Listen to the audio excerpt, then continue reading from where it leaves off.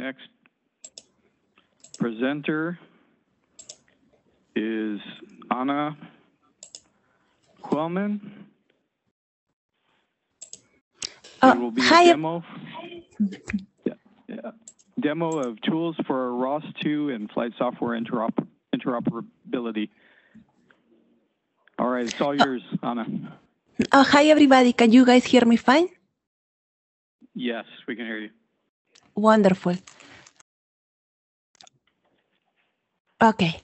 Uh, again, uh, hi, everybody. Thank you so much for uh, listening to this talk today. The title, uh, as Steven said, is Tools for ROS2 and Flight Software Interoperability.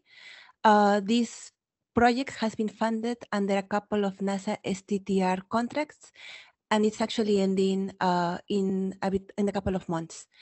Uh, my name is Ana Huaman. I'm the PI for this project. Uh, I'm with TRACLabs in Houston. And all the work that I'm going to present to you guys uh, has been done uh, mainly, to be honest, for my awesome colleagues, Todd Milan from TRACLabs, and our wonderful collaborators from APL, Andrew Harris and David Edel. A brief overview of what I'm going to talk about. First, uh, I'm going to talk a bit about the motivation behind this work.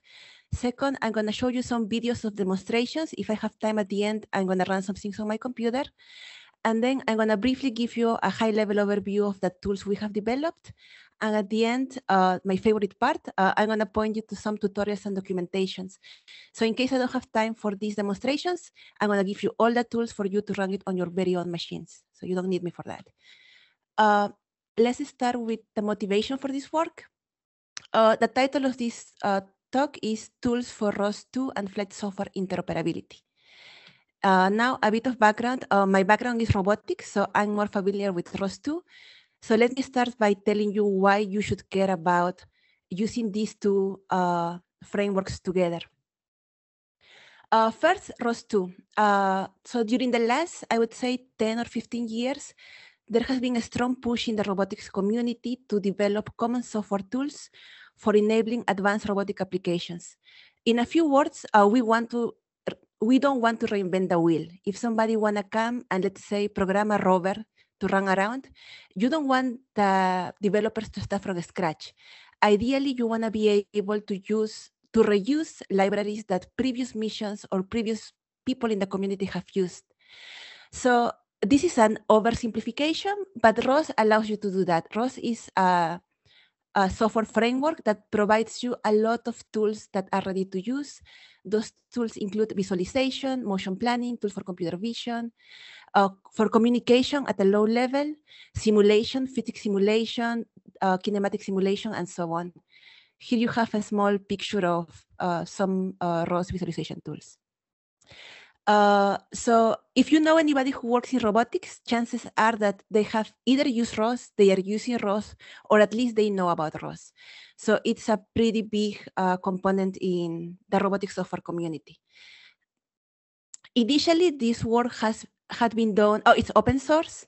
Initially, it started as most of a res researchy uh, set of tools, but as people have realized how useful it is to have tools that can be reused, uh, there has been there have been user cases in the industry and also in some NASA labs. Uh, you can see that some robots at an experimental stage at this point are also using ROS, such as uh, Astrobee and uh, Robonaut, to mention a couple. Now, that is on the side of robotics. In the side of flight software, well, I'm in the flight software workshop, so I guess I don't need to give much background. But let's just say that a similar effort uh, on developing common uh, frameworks and tools that can be shared and reused has been going on for the last uh, for, for the last years. Some of these frameworks, as you guys know, CFS and F prime, uh, they aim again not to reinvent the wheel every time. And we know that tools like CFS have been used and, and F prime have been used uh, in missions. So we know that they are useful. They, we know they are successful. So we want to keep using them as uh, as much as possible. So again, we have ROS2, we have CFS, we know they are great, and we want to integrate them together. So the goal of our work has been to investigate ways to integrate the NASA flight software system with ROS2 in order to leverage the advantages and strengths of each of them for robotic space flight applications. So that was the motivation for this work. Uh, the title of this project is BRASH, and it stands for Bridge for ROS2 Application uh, to Space Hardware. So uh, last year, one of my colleagues already gave a talk on this. I'm going to give you an updated talk with some of the things we have developed during this last year. And I'll start, instead of the technical stuff, by doing the demonstrations, hopefully to, get, to convince you that doing this work of integrating these tools is actually useful and maybe you can use it on your own work. So uh, let me start with this. So in this example, uh, we have uh, how to operate a Canadarm.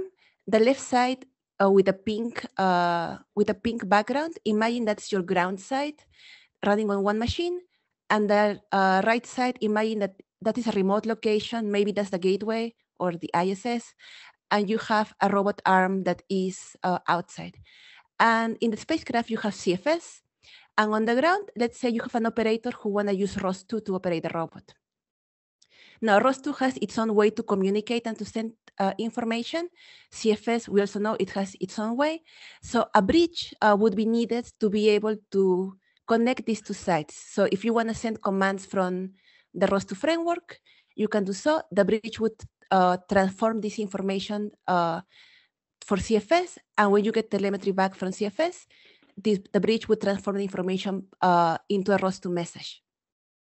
Now, uh, just uh, just to be clear, in case maybe in case of some of you are not quite familiar with ROS, so this visualization tool, these commands here, uh, I add a few buttons for moving the arm in different locations.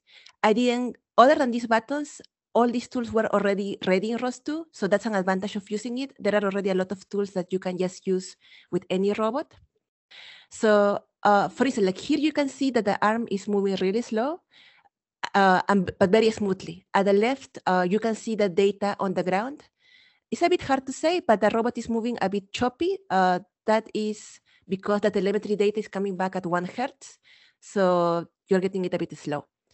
Now, other advantage of using uh, this bridge that we propose is that you can use ROS2 if you want. I mean, that's, that's our main purpose, but you can also, this bridge also open the door to use tools that talk with ROS2 so you can so for instance like here uh, at the lower left you can see sorry that's a bit small but that is an OpenMCT window. And here I'm, visual, I'm visualizing the joint values for the robot arm. So uh, I didn't have to do anything special for this. Since I have this bridge uh, OpenMCT we have a ROS plugin for it. So we can automatically see the telemetry data with nothing else done uh, to do this. Uh, well, the video goes on, uh, so I'm going to just stop that one there. Let me see uh, a second example, similar to the one before. To the left side, we have the ground side in a machine. The second, the, at the right side, we have, imagine that you're in Mars and that's a simulation. That's also a ROS2 tool called Gazebo. And we have uh, Curiosity, a rover going around.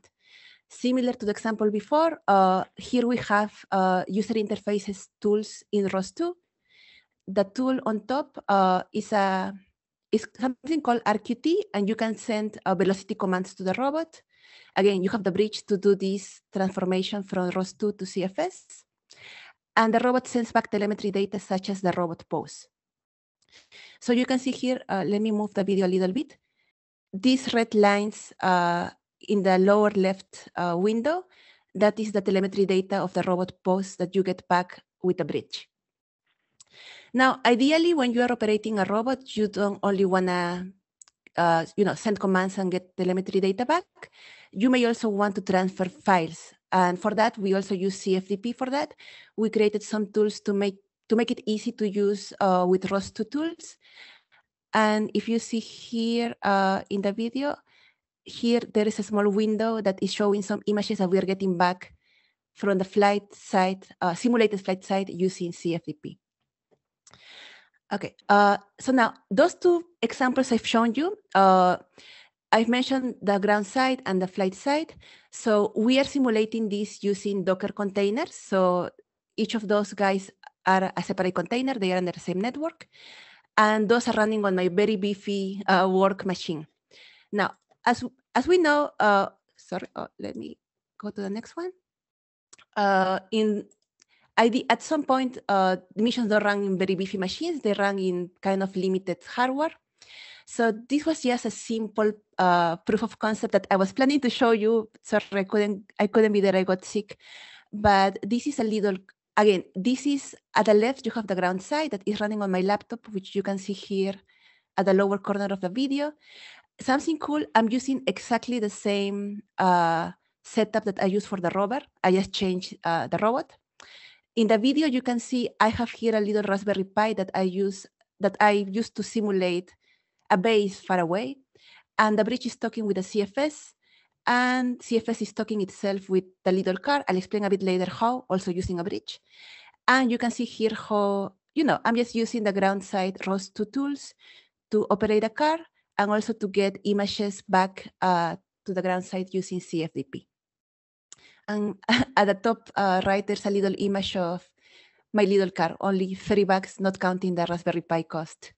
So pretty pretty simple setup, but I think it's a nice example of showing how our staff can work on different types of uh, configurations. Now, uh, let me check my time. Okay. So let me give you a, it's a high level description of tools. If you want more details, I would be more than happy to talk about this talk. And also heads up, I'm more of a robotics person. So I've learned uh, flight system stuff for this uh, project, but if you have more deep questions, I'll be happy to refer to you to my collaborator from APL for, for those. Okay, so let me describe the general architecture of this uh, bridge. So like I mentioned, we normally have two sides, the flight software side, the ground side. Initially, our main goal was to create a bridge on the ground side. You can see that here at the right. And the purpose of this goal, of this, uh, sorry, of this bridge is to talk with the flight system, let's say CFS, and to get the data from it, the telemetry and commands, and com convert it uh, to a to uh, uh, to ROS2 messages that can be uh, passed to the ROS2 components on the ground side that allow a user to, you know, do nice stuff with it. And these ROS2 components, ideally, like I mentioned, you can use, you can reuse any uh, any software available on the ground to, to command your robot. Now, uh, like I mentioned earlier, you can use the ROS2 tools to command the robot and to get and to visualize the telemetry, but you don't really have to. Uh, you can use any tool that already talks with ROS2, and there are quite a few of them uh, using our bridge. So our bridge allows you to talk with ROS2 and with any derived uh, tools. An example of one of the tools we are uh, going to use for our final demonstrations in a couple of coming months is a tool called Pride that is an electronic procedure software that we have. Uh, one final thing on the flight software side. Uh, I mentioned CFS. Um, most of our demonstrations use CFS for this bridge, but it doesn't have to be. Uh, we know that there are other tools out there like F prime, and we actually also have an example uh, of the bridge using uh, F prime. But just saying, it can be any flight software really we have mostly used CFS, but again, it doesn't have to be. And while doing the demonstration, we noticed something interesting. Uh, like, like I also mentioned earlier, uh, there are quite a bit of robots, especially robots that are commercially available, that already by default, when you buy one, they come with a ROS2 interface, ROS or ROS2 interface. So ideally, maybe not now, but, but at some point in the future, it's not out of uh, the imagination to think that in space you may we may use some commercial robots. So while you could create, you know, uh, let's say a CFS interface to control them, it's also possible that uh, we could use just robots off the shelf. So we also need a bridge here to be able to talk, you know, between the flight software and the robots as well. Again, you don't have to, but it's also a, a possible, uh, another possible applic application for the bridge. So, okay, let's see. Okay. Uh, a bit of on the design, I, I, I won't go much into details. We evaluated a number of possible ways to implement the bridge on the ground first. Uh, we uh, decided to implement the bridge as a ROS2 node. That's just an executable that runs uh, using ROS2 code. And what this bridge does is it uses existing CFS apps such as the telemetry output lab and the command ingest lab and we use this to get, you know, to send the commands and to get uh, the telemetry data back. of course, these uh, UDP packets, they need to be converted to a, a to a format that ROS2 understands. So we have also to implement message conversion uh, tools to transfer information back and forth. So again, I uh, just to give an idea, the purpose of these tools is you have that uh, CFE messages defined as all of you know in C, in C structures, and we need to convert them to uh, ROS2 messages that are defined with uh, a simple YAML file format. So to do this, uh, we use an open source library called Juicer from some from a lab, Windhover Labs here in Houston. What this library does is uh, it gets as an input an executable or an SO file for instance, like, C like the CFS uh, executable, it goes through all the headers and it gets all the information of the C structures on it. And you have the output is a uh, database with all that information. So we use that information and we create some tools to use that database and generate the ROS2 uh, messages automatically. So that doesn't need the user to, to do anything else. So while we do that, we also created a few a few tools to, uh, you know, for better introspection, to check the messages that are converted, to check what kind of information they have contained. And also a Juicer can add some documentation if he or she wants to do that for future users. Uh, now, I mentioned that we use user for message uh, conversion. You don't have to. For instance, like if you find or if you develop a different uh, library to do message conversion, between CFE and something else, you can do so. So we also we want the, the bridge to be flexible. So we want to be able to plug in different uh, tools or to give you the ability of creating your own tools using our framework as a baseline. So the message conversion tools are implemented as plugin wrappers, so you can so you can change that. Uh, you can use any tool you want for that. So we want to be flexible, but uh, like I mentioned, uh, most of our, our, examples use CFS, but it doesn't have to be. For instance, what if you want to use uh, F prime? Uh, so our our framework also is built using a plugin-based uh, implementation, which means that you can also write a bridge version of, you know, uh, communicating with F prime, and we have the, and we have such an example. I'm not going to present it here for lack of time, but uh, we have done that as a proof of concept and we have seen that uh, that uh, works. Now, my final uh, example on the bridge sites, like I mentioned a bit earlier, uh, I've talked until now more about the bridge on the ground side, but like I mentioned, uh, it's possible that at some point you may have robots that are running ROS2 on the flight side.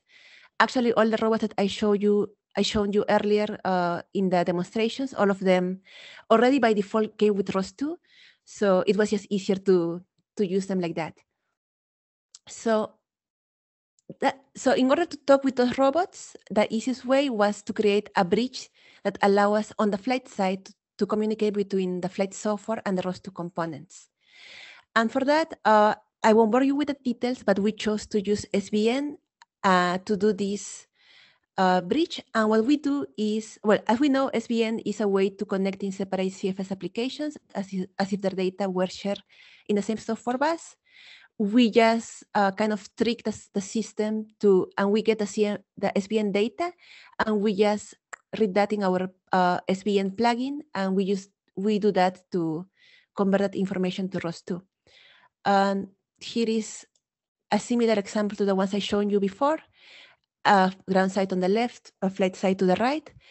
On the right side, you can see, sorry, it's a bit hard to see. Uh, I'm not gonna go bigger because I think that freaks out my system. But at the right side, you have, uh, that is a Husky robot that's from ClearPath Robotics. Uh, it's open source, so you can play with that uh, anytime you want. So this robot already comes with a ROS2 uh, uh, interface. So here what we're doing is similar to before uh, we use the ground side to send commands and to get telemetry back. And the flight side, you have CFS running, and CFS is using the second bridge to get information back and forth from, from this little rover. Okay, let me go to the next one. And okay, just to wrap up a few of the things we have been working on during this last year. Uh, So when you start thinking about on the flight side of using a robot that maybe is using ROS2 and a robot that may not be in the same, you know, it can be it could be in a different computer than the computer that runs CFS, or it can be in the same computer but in a different processor. You have to start thinking about, for instance, how to send log information back to the ground. Uh, we did some work on that. Uh, we created a CFS app called ROS app that allows the user to, you know, get the login data back to the ground the user can select if you want the login data. Maybe you don't want it, maybe it's not critical. Maybe you can choose to get only error or critical information. So it gives a bit of a lot of flexibility for the user to get more uh, data. Uh, also, uh, again, when you have when you think about using maybe a robot and CFS on different machines, you have to deal with time synchronization. This is pretty recent work uh, that our wonderful collaborator from APL recently uh, finished. So they have created this app called CFE SNTP. And what this app does, an overly simplified exp explanation, is it runs an SNTP server inside the app. So if you have a robot and you want to synchronize your time with CFE, you just send a regular NTP uh, client request and you can get the time back. And then your robot and you know, your CFE system are synchronized. So uh, if you want more details, uh, we can talk about that later, but here is uh, a picture of the repo. Uh, I talk about uh, file transfer back and forth.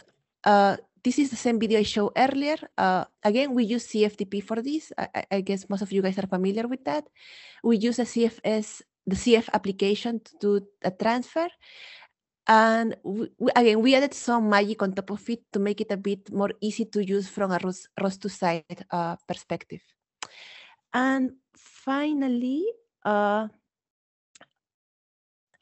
I mentioned uh, how to use tools besides ROS2 uh, to visualize telemetry data and so on. So we also developed an OpenMCT plugin. Uh, here below, you can see the repo.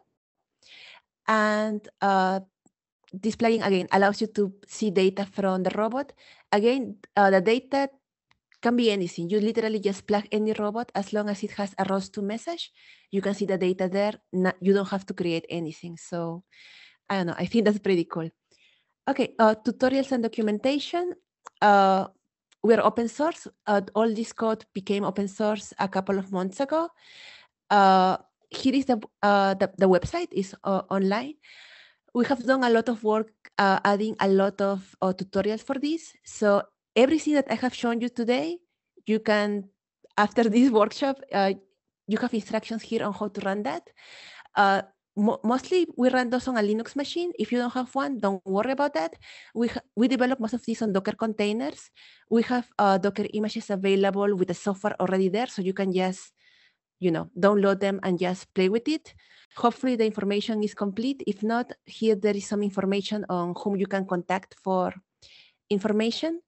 And it's still work in progress. I got a bug report yesterday night, so, which I'll, I'll resolve after uh, this workshop.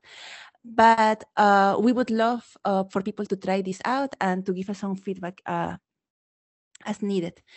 And I think I think that's all I have for today. Uh, thank you very much. And if you have any questions, I'll be happy to reply to them. Thank you.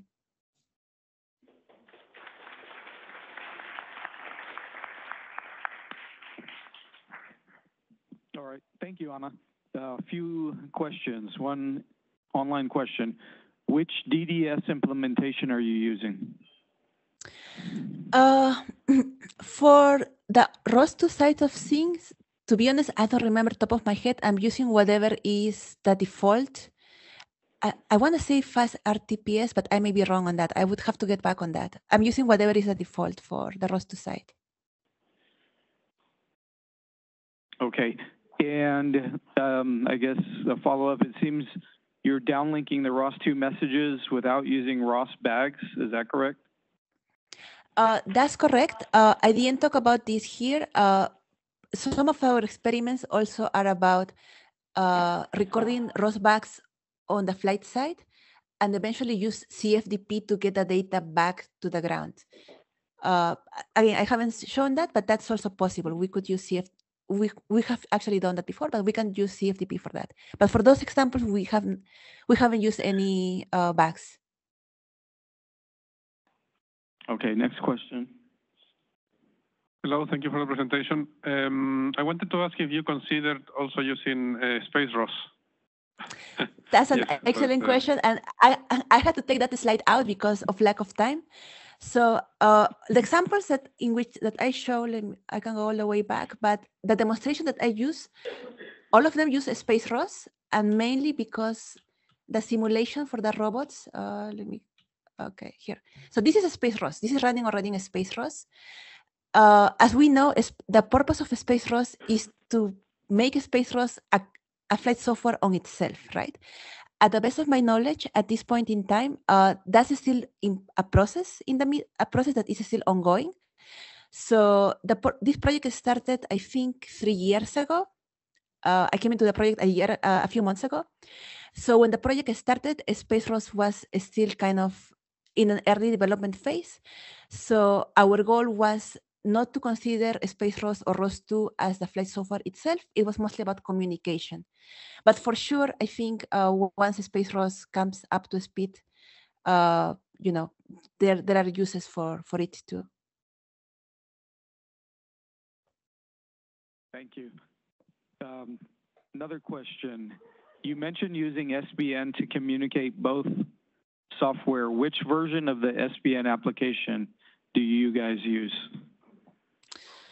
Uh, I want to say the latest, but to be honest, again, I'm not a CFS expert, but to the best of my knowledge, we are just getting whatever is on GitHub, the latest version. I have to get, you know, to check with, with uh, our experts at APL, but I think I, I would say the latest, but um, I have to confirm. Okay, so we have time for one more question. I'm going to read it to you, and then afterwards, there's there's a few more questions for you if you can follow up with them on Slack, Ana. So the last question is: the bridge effectively making each node of CFS, uh, for example, control, into a ROS node, callbacks, logic, etc., without having to code the node? So I, I I guess I can go more into detail, but no, you don't have to create a ROS2 node especially for, for this. So the bridge is already a ROS2 node, so you just have to, if you have new ROS2 messages, you have to do a bit of configuration, like editing a YAML file, telling, okay, this file, uh, this message we need to convert. And you have to use Juicer to do the conversion, but that's only a one-time thing that you do before running stuff. But after that, you don't have to do a ROS2, uh, you don't have to convert ROS2 node. That I think that that uh, that approach has been done by some other uh, fellow uh, developers of bridges, not not ours, but I, I I think I've heard about that sort of approach, but that's not how we are doing it. Okay, thank you very much. Thank you. Thanks, everybody.